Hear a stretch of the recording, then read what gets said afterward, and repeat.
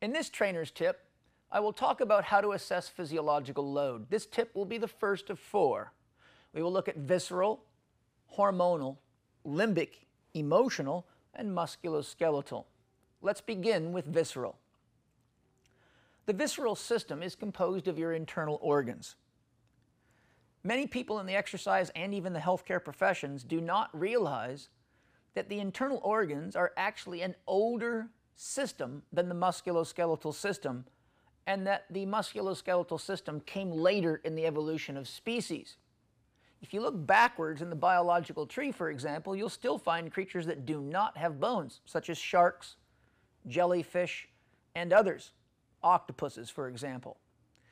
So, again, if you look at the biological tree and follow it all the way backwards, you can get to the point where all living organisms on the planet were single celled organisms, and within a single cell, you have what are called organelles. Within each organelle, within each single cell, is an organelle that corresponds to one of your internal organs. The way the body developed over time was that the nerve endings, the nervous system that feeds the organ, is actually much more involved in regulating physiology, things like pH balance the sympathetic nervous system that you have innervating your musculoskeletal system, which is used to control blood flow in the musculoskeletal system, also innervates your viscera, your internal organs, and the sympathetic chain ganglia, the nerve ganglia that run along the spine, they regulate blood flow into and out of the internal organs. The sympathetic chain ganglia are also the pathway by which the internal organs get their sensory nerve endings.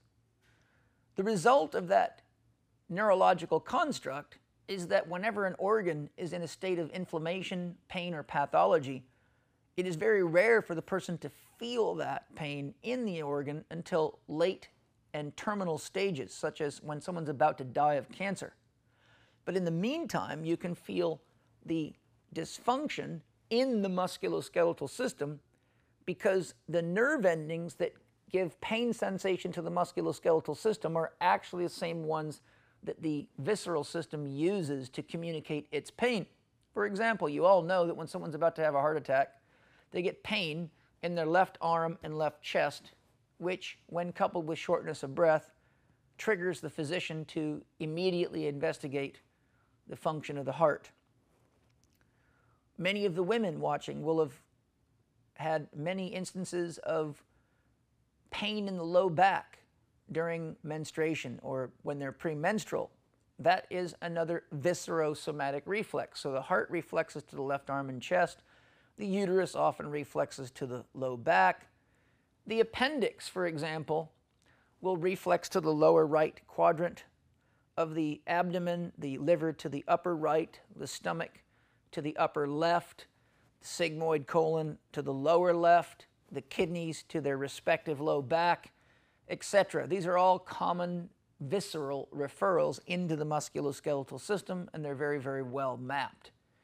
Why this is important to you is that as an exercise or healthcare professional, it's very likely that you will have a patient come to you that has musculoskeletal pain, yet they cannot identify the cause of the pain.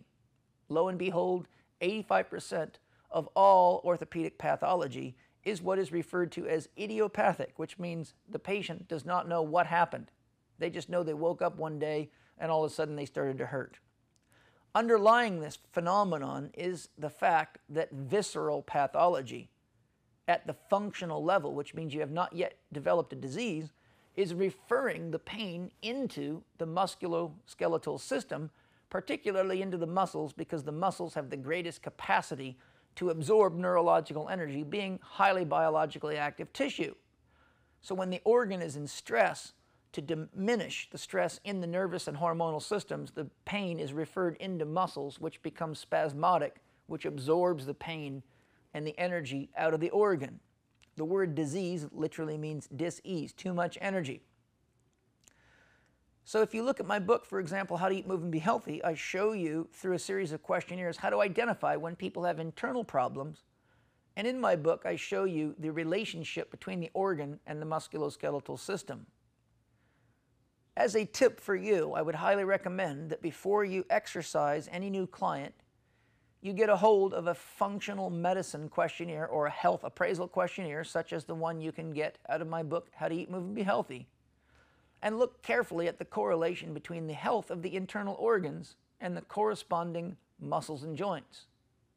It is only through an integration of the internal organ systems with the musculoskeletal systems and the other systems that I will discuss in upcoming trainer tips that you can actually determine your client's readiness for exercise.